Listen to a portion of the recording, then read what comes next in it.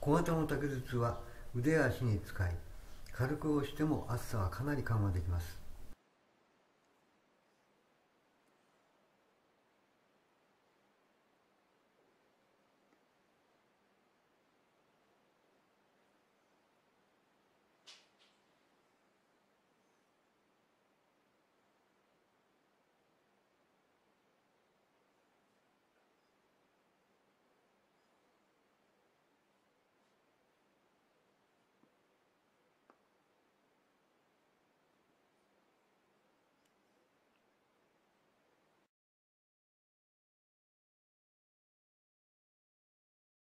長い竹筒が持ち方を工夫しないと腕や足では失敗することがあります。大は小を兼ねます。持ち方を工夫すれば小型と同じように使えますね。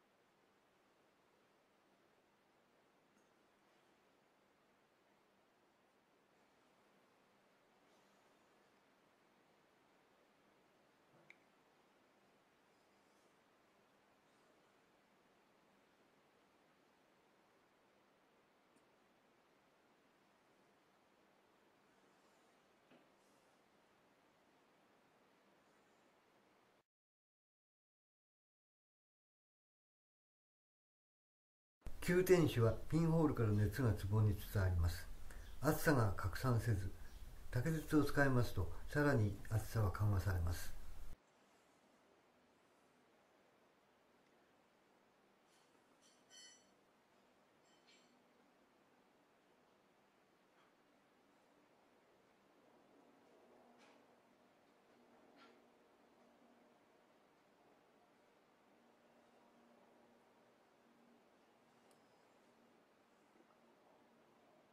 米流台よりもかなり大きな重さですがあとはほとんどついておりません。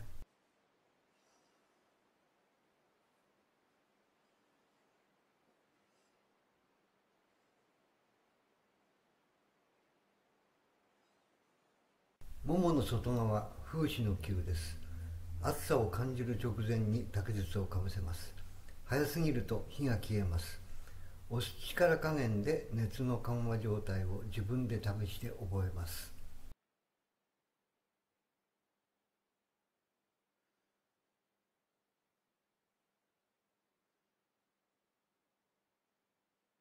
前だからこの位置でできない仰向けじゃない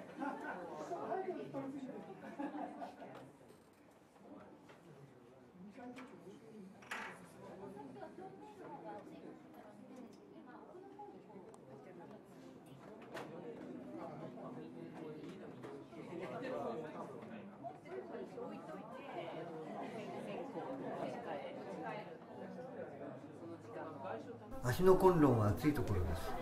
手際よく据えてますね。竹筒の効果が上がっているようです。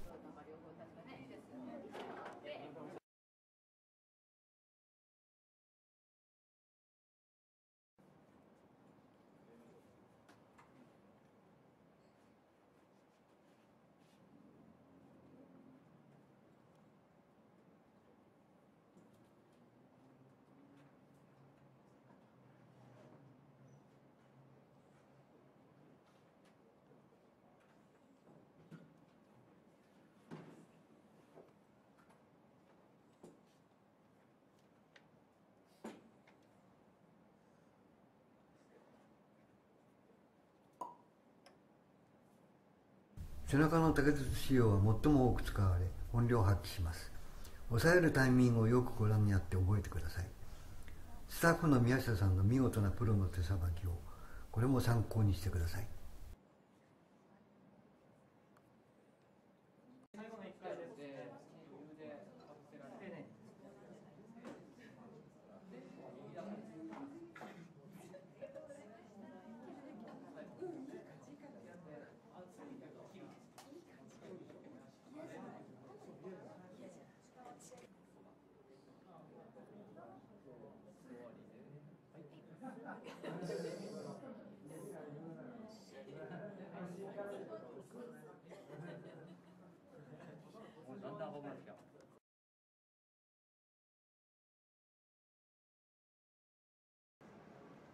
何層かはこの肺の上にそれで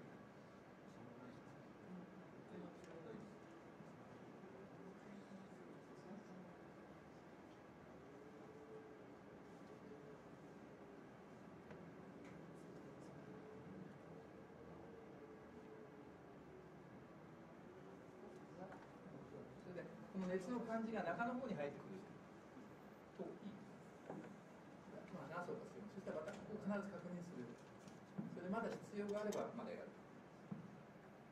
最初の今3層目ぐらいまでは皮切りなので、えーちょっと熱いこともある。今探ったでしょ探ってさっきとちょっと硬さとか変わってきてるんで重さのひねりを変えてる